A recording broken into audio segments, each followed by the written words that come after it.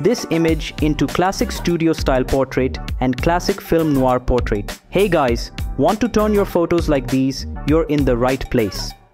With the help of ChatGPT, you can transform your image into these timeless styles.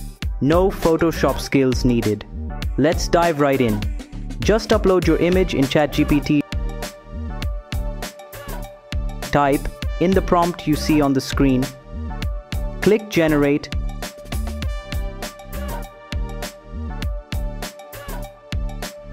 And boom, stunning results. We'll also try a black and white film noir portrait. Follow the same steps using the prompt on screen. And the results? Just wow. Here are some of the results. Check it out.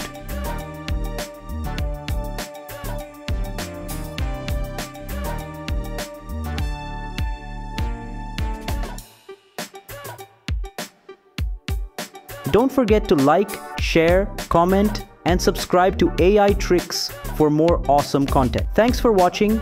See you next time, friends.